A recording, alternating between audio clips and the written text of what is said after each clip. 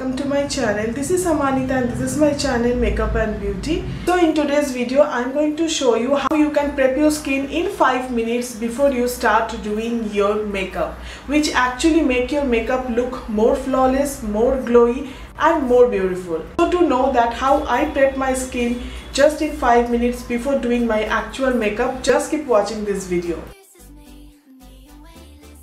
So first I'm taking one cotton pad and then I'm taking Sugar Cosmetics Swipe Right cleansing water. And I'm pouring a little bit of this cleansing water on my cotton pad. And then I am going to apply this cleansing water all over my face just to clear up all the dirt and oil if there is any on my skin before I start prepping my skin. Now this is a must have process as we always need to clear the surface of our face before we start makeup. Next I am taking one facial mist and this is from Plum Goodness. This is one of my go-to facial mist and I'm going to spray it all over on my clean face and then on that wet skin I will apply 3 drops of facial oil and that is also from Plum Goodness and I'm going to massage it all over my face using my hand with light strokes and yes I am avoiding the area just near to my under eye as it might make my under eye area more oily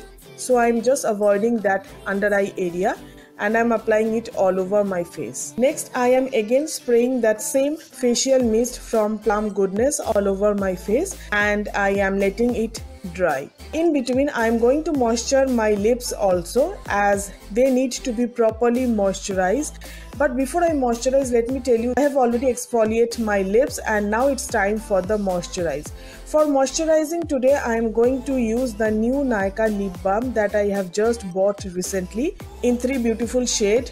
Now among these three lip balm I'm going to take the pineapple one and I'm going to apply it all over my lips and I'm going to leave that lip balm on my lips for at least 10 minutes while I will be doing my rest of makeup on my entire face. So this is how I prep my skin and now my skin is just ready for makeup.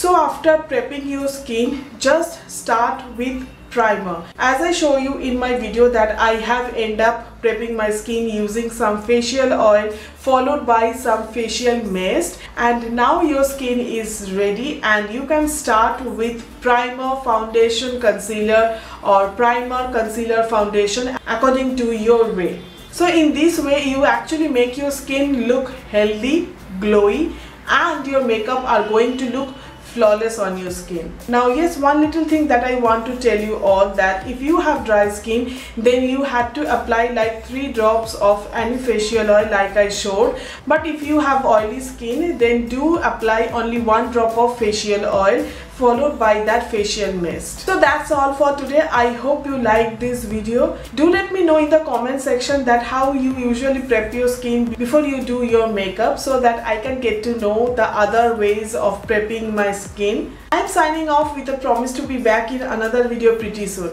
Until then stay beautiful and stay stylish in this season. Bye!